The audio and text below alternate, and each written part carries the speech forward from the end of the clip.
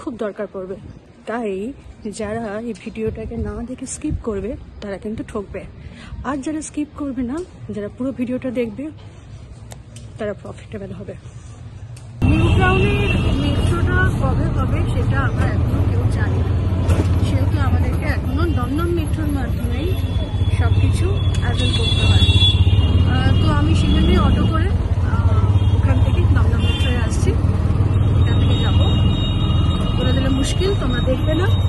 সেহেতু দেখতে থাকো। মেট্রো স্টেশনে গিয়ে পার্ক স্ট্রিটের টিকিট কেটে উঠে পড়লাম মেট্রোতে। পার্ক স্ট্রিটের পেভমেন্ট ধরে নানা রকম জিনিস দেখে হাঁটতে হাঁটতে আমি রিয়েলাইজ করলাম, এতগুলো বছর ধরে আমি কলকাতায় আছি, কিন্তু আজ পর্যন্ত আমি কখনো ইন্ডিয়ান মিউজিয়াম ভিজিট করিনি। জানি হাস্যকর, কিন্তু প্লিজ হাসবেন না, এটাই সত্যি। তাই যেমন ভাবনা, তেমন কাজ। আজকে আমি ইন্ডিয়ান মিউজিয়াম মিউজিয়াম ভিজিট করব আর সেই মতো দাঁড়িয়ে পড়লাম টিকিট কাউন্টারের লাইনে আর কেটে ফেললাম নিজের জন্য একটি টিকিট আর পঞ্চাশ টাকা দিয়ে একটি কুপন যেটা ছবি তোলার জন্য। আর সেটা কিন্তু আপনাদের জন্য। তাহলে চলুন, ভেতরে যাই।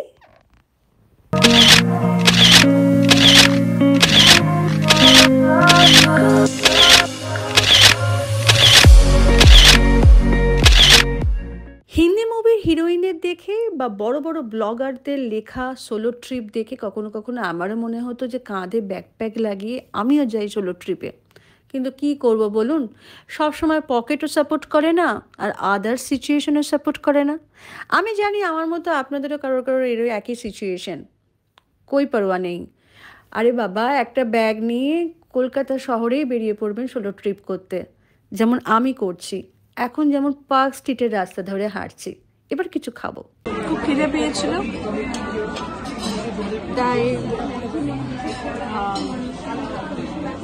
একটা জায়গায় এসে বসে বসে খাচ্ছি। কোথায় খাচ্ছি? সেটা তো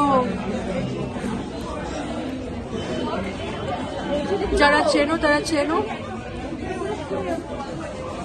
আর যারা চেনো না, তাদের জন্য বলছি যে মনে হলো যে ট্রিঙ্কাসে আসি।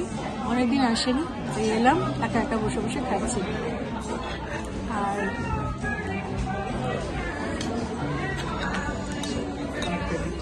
খাবার পুরো ডান তো তাই তোমাদেরকে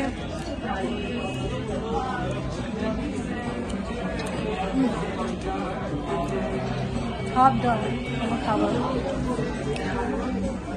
ভুলে গেছিলাম, একদম ভুলে গেছিলাম স্টার্টিং এ দাঁড়াতে। হঠাৎ করে মনে পড়ল ভিডিও করতে হবে। দেখাচ্ছে একটু খেয়ে নিই, ভীষণ খিদে পেয়েছে অনেক ঘুরেছে মিউজিয়ামে খেয়ে নিই খেয়ে নিই কথা বলছি।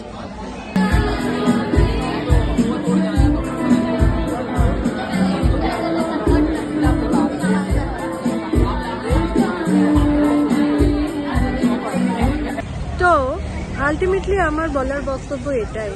যদি কখনো মন খারাপ করে বা কখনো খুব একা লাগে, তাহলে অবশ্যই নিজে নিজেও কিন্তু কলকাতা শহরে এসে ঘোরা যায়।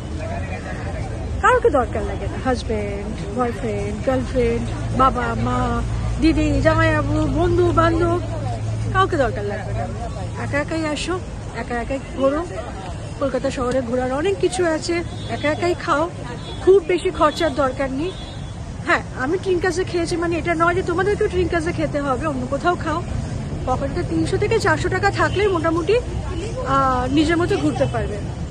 মিউজিয়ামে পঞ্চাশ টাকা টিকিট আর যাতায়াতে যেটুকু খরচা, আর মিউজিয়ামের কাছেই ডেকাসলেন যেখান থেকে তোমরা অনেক কিছু খেতে পারো, বা অন্য কোথাও প্ল্যানেটেরিয়া নিজের মতো ঘুরতে পারো, নিজের মতো একটা দিন দারুণভাবে স্পেন্ড করতে পারো, যেমন করে আমি করলাম।